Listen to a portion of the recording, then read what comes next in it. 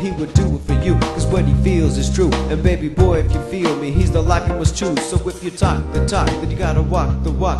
Better be getting those feet to stepping, cause there's no time to stop. And it's a life of decisions, consequences, and intermissions. Listen, he's always representing, never dismissing. You gotta take the time to get it right and see your mistakes. You can't be fooling with them suckers or be playing them games. This ain't no joke, player. I'm trying to bring it as real as another player. Only with first class appeal, so keep the faith. And don't wait another minute, cause your life is on the line until the time of the infinite. And from that point, kid, you're going up or going down. There won't be time for your repentance. So turn your life around.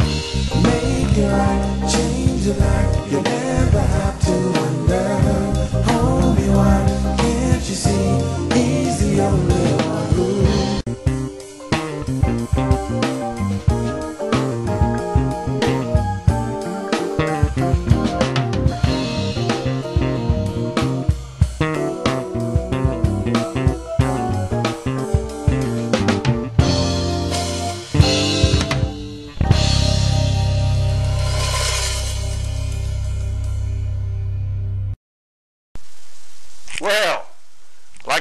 welcome everyone to Fi- Fair Warning, and this is Fair Warning, and and I'm Crazy Eddie, and uh, that's what they say.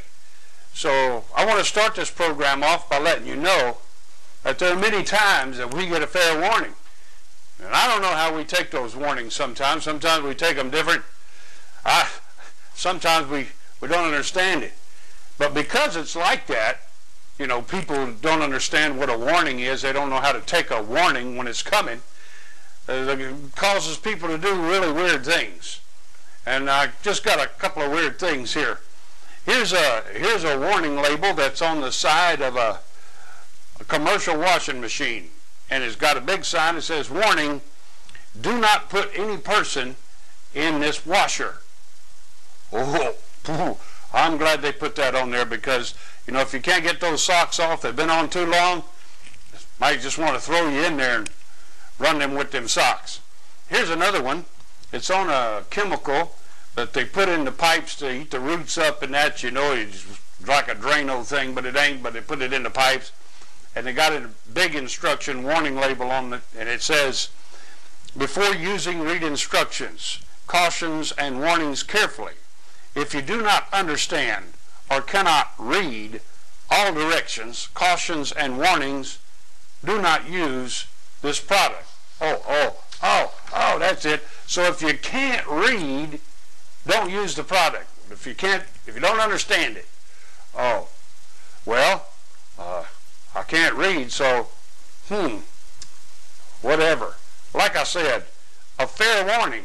What is a fair, a fair warning? You know, we get warnings all the time. I don't know if it, people, you know, you guys don't understand. Some people don't understand what a warning is. You think you think it's just some kind of a game people are playing or you know serious business. I'll tell you how serious it is. Here it is. Here's another one right here. It's on the it's on a bottle of medicine right here, and uh, but it came from from the veterinarian, and it's for this guy's dog. And the pharmacist thought that you know he does it all the time, so he just put the uh, warning label on there. And here's what it says. It says, may cause drowsiness. Alcohol may intensify the effects of this drug. Take care when operating machinery or driving a car. Okay, so there it is right there. If your dog is driving a car, don't let him take these drugs because he's going to crash and that's it. If you don't want your dog crashing, you don't want him eating these pills. Here's another one here from the scrubbing bubbles, you know, the little scrubbing bubbles that run all around and, and scrub the toilet.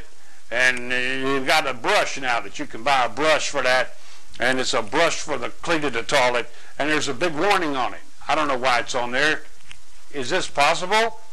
But it says, do not use for personal hygiene. Oh, that's going to burn. You know what I'm saying? I mean, you just imagine, you would think maybe that people could figure that out. And last, and but not least, is my favorite one, and it's found, it's a big label, and it's found on a chainsaw. Put it on this chainsaw because I guess they were having problems, you know, with the chainsaws. So here it is. it says danger. Danger. Do not hold the wrong end of the chainsaw. Okay, so there you go. A fair warning. That's what you need. We need a fair warning. The world today is trying to get all kind of warnings. We got storm warnings and, and all sorts of warnings. But is it a fair warning? A warning is something that serves to warn, like a storm is coming. You know, like a storm warning, an advice, an alarm, alert, a caution, a distress signal. Fair. Fair means it's an objective. It's, uh, it's uh, nobody's feelings involved. Um, I'm not telling you this because uh, my feelings are involved or me against you. I'm telling you this because I think you need to know it. It's fair. It's just. It's without race. It's without prejudice. It's without any creed. It's, it's with all truth and heartfelt desire that I give you a warning. But sometimes people, they don't understand how to take a fair warning. But in this program, I'm going to take just a short time and I'm going to tell you a fair warning. We're going to talk about this fair warning. And then when it's all over, I hope there won't be no excuse for you. But know this. Know this. There will be other programs, and every program is going to be a fair warning. Make no mistake about it. This is not some game. This is not a cartoon. This is real. And it's a warning, and it's fair, and it's just. So just make yourself ready, because it's coming. I'll be right back. that was a quick break, but we got to take those breaks. I give you time to suck that all in. Okay, here's what I want you to know. This is what fair warning is all about. Here's where the information comes from. Now, you, you might debate what I'm going to talk about. You might not like what I'm going to use. But what I'm going to use is truth. Now, you might say, I don't believe that this is truth. I don't believe uh, Brother Ed in the Bible. You know what I mean? Okay, well, just because you don't believe in the Bible doesn't mean it's not a fair warning. See, that's the problem. The problem is the Bible is a fair warning. You know, it's kind of like don't hold a chainsaw on the wrong end. You know, it's really plain. It's so obvious. It's it, it's it's it's known, but yet we fight about it. But I want you to know that the Bible gives us many, many warnings.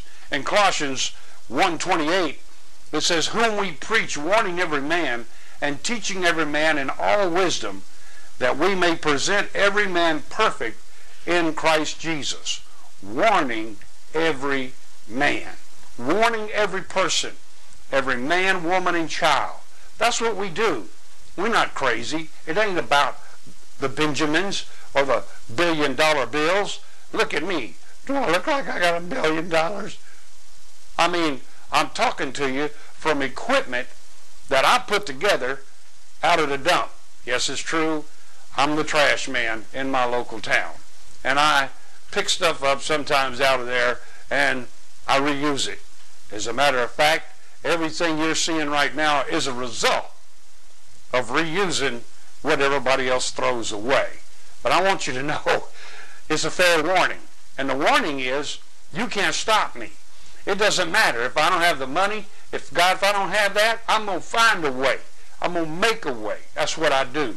I'm going to make a way to give you that warning. Hebrews 11:7 says, By faith Noah, being warned of God of things not seen as yet. See, everybody knows the story about Noah and the ark and the rain and the flood. And we know that Noah was told to build a boat over a hundred years before the rain came. Uh, I guess it's because he didn't have like a battery operated drill or something. But it took over a hundred years to build a boat. A hundred years he was warning people. And then not only that, God came to Noah and said in seven days, seven days from now, it's going to start. So he came seven days before it started. He didn't just say build a boat before it rains. He came seven days before and gave a fair warning. Make sure everything is ready. Seven days. And still, people denied the warning. The Bible tells us many times in 1 Thessalonians 4 6 that no man go beyond and defraud his brother in any manner, because that the Lord is the avenger of all such, as we also have forewarned you and testified. Forewarned you. You see, this scripture goes along with messing with God's anointed. You shouldn't mess with God's anointed, and there's a warning in that. And the warning is, if you're messing with God's anointing, you're trying to flim-flam somebody that because they are calling themselves a Christian, and you think, well, Christians just they just fall for anything, and I'm just going to take them to the cleaners. I got news for you. God is on our side. You see, we've accepted Jesus Christ as our personal Lord and Savior, and because we've done that, the avenger of the brethren is the Lord. Make no mistake about it. You may not like that. You may not understand it. You may not like it. But I'm telling you, that's, that's a fair warning. I'm telling look out. Go ahead. You keep playing the game, keep beating on Christians, keep smashing them, knocking them down. But I'm here to tell you, it's a losing battle for those who come against God's chosen people. You understand that? That's a fair warning. The Bible gives it to us. And so, what we need to know is it has to be a clear warning. Fair warning needs to be clear. And in the book of Romans it tells us, For the invisible things of him from the creation of the world are clearly seen, being understood by the things that are made, even his eternal power and Godhead, so that they are without excuse. Romans 1 and 20. Romans 1 and 20 explains to us that it's perfectly clear. And without excuse. You can sit there and you can look at me, Crazy Eddie, on the other end of this video. But I want you to know, the fact of the matter is, you're without excuse. Everything is in front of us. The Lord has made everything possible. Right now, I'm not talking about other people. I'm talking about you. You know what's right, and you know that it's true. And so, the fair warning is, what you going to do with it? You're going to have to do something with it. And because of that, I'm here to tell you. Can't hide. It's clear. It's open. It's plain. And it's pure. That's it. And his name is Jesus Christ. And you can't debate that because you know it's true. But don't turn me off yet. oh, all right. So, I got something else to tell you and warn you about, and that's this. There are things that are coming. Yes, it's true. Things are coming. They're coming, things that you and I are going to face. Make no mistake about it. They're coming. And the Bible says, it says in Colossians 2.16, Let no man therefore judge you in meat or in drink, or in respect of a holiday, or of the new moon, or of Sabbath days, which are a shadow of things to come. But the body is of Christ. That tells us that there are things to come. I don't want to jump all over these issues that we have these other issues about, uh, you know, the Sabbath day and all these other things. I don't want to go there right now. What I want to go is to tell you that there are things coming. There's things coming that we're all going to face. And there are choices coming that we're all going to make. Choices are coming. Things are coming and choices are coming. Ecclesiastes says, to everything there is a season, a time to every purpose under heaven, a time to be born, a time to die, a time to plant, a time to pluck up that which is planted. There's a time to be born and a time to die. You are not can prove that because you're here looking at me right now. So, you was born. I don't think anybody watching me was like hatched. Uh, you was born and the Bible's right. That's it. The Bible is right. You just didn't just happen. You was born. What are you going to do with that? That's a fair warning. So then if you're born, if there's a time to be born, then there's a time to die. My friend, this is absolute truth, whether you like it or not. All around us, every person watching me right now, you can agree with me that we all had family members that have died. They lived and they died. And you're next in the chain. You're next in the chain. You're living and you're going to die. Now that's not some kind of a theological uh, thing. That's fact. It's the truth. That's the way it is. Don't get mad at me about it, but that's how it's going to happen. You're born, and then you're out of here. Just like the rest. And if you have children, they're next in line. And if you have grandchildren, they're next in line. This is a fair warning. The warning is, some people said the only thing that comes is death and taxes. taxes may not always come. It may not be a tax pretty soon. Pretty soon they just might take it. Just not tax you, but just take it because they can. I mean, you're letting them do it anyway, most of us.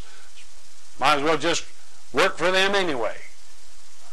That's unknown. You don't know if they're going to take it. Right now you're going, oh man, you're crazy. Yeah, you're right. Uh, we don't know if they're going to take our money or if it's a tax or if it's coming or going. But I'm going to tell you about death. It's coming. I'm going to make, it is on the way. My dad used to say when I was a little kid, he used to come and he used to say, someday I'm going to lead that parade. And then we'd see a funeral go by and he'd pull over and take his hat off and, and respect. Uh, that don't happen anymore. Now if a funeral goes by, people try to run them down, pass them up. Wow, they're dead anyway. There's no respect anymore. I guess I'm just too old school. Anyway, Dad would pull over and he would go by and he'd say, someday I'm going to ride in one of those. And I remember in 1968, yeah, that's true, that was a long time ago. And I was following behind the black hearse. My big brother looked at me and he said, Dad is taking his last ride, just like he said. Oh, it's coming. Oh, it's right here. You can't escape it. Now, because of that fact, God loves you. He loved you so much that he made a way for you. He warned you, and then he made a way for you. And he gave that way to you that's open to you. Salvation is a free gift. The fair warning is you must accept it. If you don't accept it, then you reject it. I, I mean, that's it. Well, you, uh, you didn't tell me I was going to hell. No. I came to this segment to tell you that things are coming your way and there's going to be choices that you're going to make about those things that are coming. You got a few minutes, a few seconds. Uh, you just run that over your mind right now. What am I going to do with a few seconds? A lot coming. What you need to do is think about it. It's a fair warning. It's coming. You better get ready for it. No mistake things are coming. And so there it is. That's my first video. And I decided to use it because I made it in 2010. And I made it in 2010 and I didn't want to throw it away. I don't apologize for the video and I don't apologize for the audio because it's true. That was done from things in the trash. But, you know, things progress. And so Next programs will certainly be different, hopefully. New cameras, new microphones. It'll be like it should be. Try not to make them too long. I don't want to make them too long. If This one's over 20 minutes. It's too long for me. But uh, next programs are on the way. So all I want you to do is I want you to uh, subscribe for me. That lets me know how many people's going to be watching. You know, and uh, leave your comments below. And that way uh, we can uh, fight about what it is I said. I like that. We don't learn nothing unless we fight about it. So I hope we're still around for another program something don't happen to take us off. That being said, thank you.